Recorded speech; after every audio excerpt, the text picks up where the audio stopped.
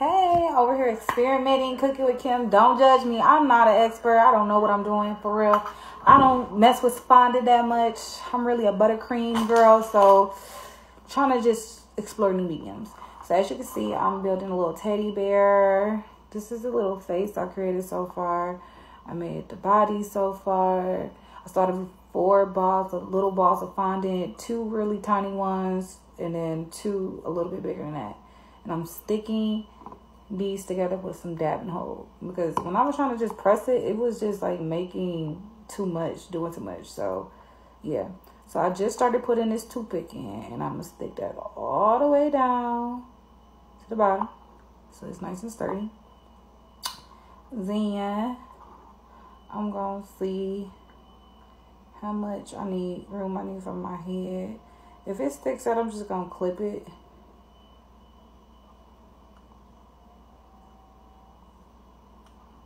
I see. My head going down. Oh, my ears coming off. Okay, I might have to dab and hold those ears. Probably am. So I'm gonna push that down. And here are my little ears. They're not perfect, but it'll do. I'll actually put another toothpick in here because I feel like it's not sturdy enough by itself. I like his head too big.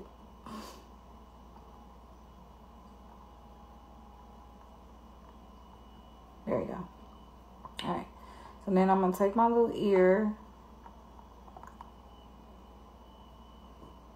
And I'm going to stick the edge in some of this dab and hold. If you can see my dab and hold is like right here on my mat. It's like a little yellow. So if I just dab a little bit on that edge. And then I'm going to stick it down. And hold it for a second. and I'm going to do the same thing with this one.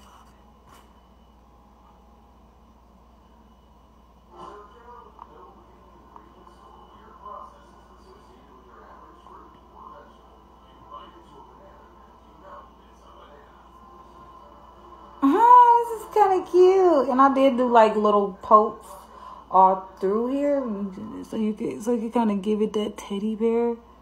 But no, let's do the arms. So these arms are not perfect by any means.